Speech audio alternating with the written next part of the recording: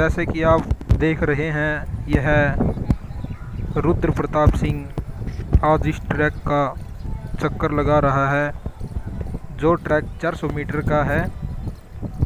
और हम आज देखते हैं, यह कितने टाइम में इस चक्कर को पूरा करता है। इसने पहले भी 800 मीटर रनिंग की थी। दौड़ लगाई थी, जो इस ट्रैक के दो चक्कर लगाए थे। तो आज हम देखते हैं, यह चक्कर कितनी देर में पूरा करेगा।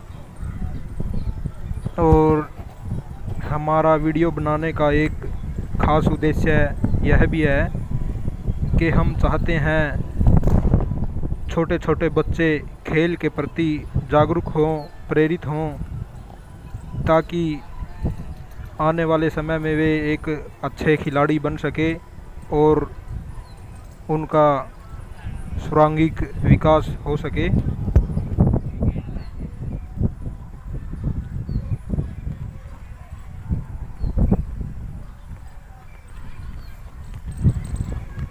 यह देखिए, ये बच्चा रुद्र प्रताप रनिंग करते हुए और देख, हम देखते हैं, यह चक्कर 400 मीटर का ट्रैक कितनी देर में पूरा करेगा।